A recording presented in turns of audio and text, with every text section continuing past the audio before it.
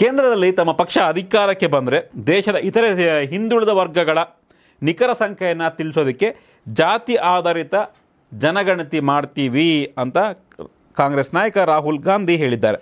ಮಧ್ಯಪ್ರದೇಶದ ಶಾಜಾಪುರ ಜಿಲ್ಲೆಯ ಕಲಾಪಿಪಾಲ್ ವಿಧಾನಸಭಾ ಕ್ಷೇತ್ರದಲ್ಲಿ ಮಾತನಾಡಿದರು ರಾಹುಲ್ ಗಾಂಧಿ. ಈ ವೇಳೆ ಕಾಂಗ್ರೆಸ್ ಅಧಿಕಾರಕ್ಕೆ ಬಂದರೆ ನಾವು ಮೊದಲು ಮಾಡುವ ಕೆಲಸ ಅಂದರೆ ದೇಶದಲ್ಲಿ ಒ ಬಿ ಸಿಗಳ ನಿಖರ ಸಂಖ್ಯೆಯನ್ನು ತಿಳಿಸೋದಕ್ಕೆ ಜಾತಿ ಆಧಾರಿತ ಜನಗಣತಿ ಮಾಡ್ತೀವಿ ಅಂತ.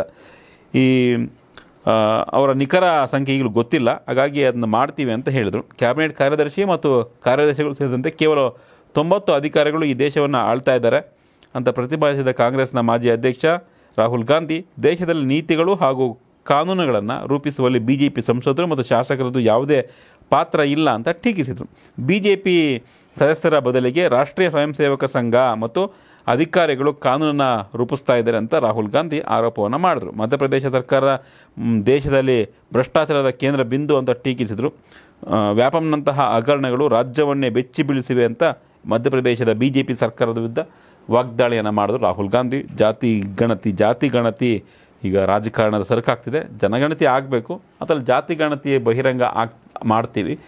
ಅಂತಿದ್ದಾರೆ ರಾಹುಲ್ ಗಾಂಧಿ. ನೋಡೋಣ ಇದು ಯಾವ ಮಟ್ಟಿಗೆ ವರ್ಕೌಟ್ ಆಗುತ್ತೆ ಅಂತ. ಬಿ ಜೆ ಪಿ ಕೂಡ ಜಾತಿ ಗಣತಿಗೆ ಬಹುಶಃ ವಿರೋಧವನ್ನು ವ್ಯಕ್ತಪಡಿಸ್ತಾ ಇದೆ ಅನ್ನೋ ಲೆಕ್ಕಾಚಾರ ಇದೆ.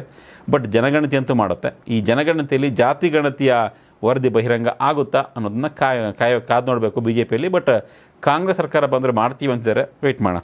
ಯಾಕೆ ಮುಂದಿನ ಸುದ್ದಿ.